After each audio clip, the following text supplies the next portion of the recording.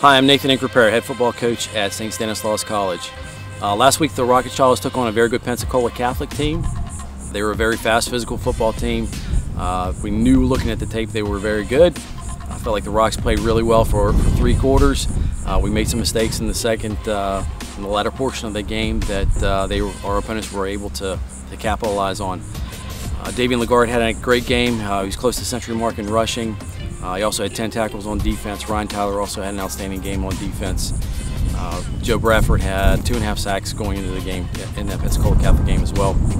Looking forward, uh, the Rock's going to take on a very good Pass Christian football team this this week. We feel like they're a very good opponent. They've got a very athletic quarterback. We're going to have to do a good job defensively managing space and uh, tackling well, as, as all defenses do. Uh, on offense, we've got to look forward to uh, minimizing mistakes, uh, not committing costly penalties. I feel like we have a good chance to, to score points this week. Uh, on special teams, we, uh, we, gave up a punt return last week. We've got to make sure that we're sound in the kicking game and, uh, and we're solid in that portion of the game as well.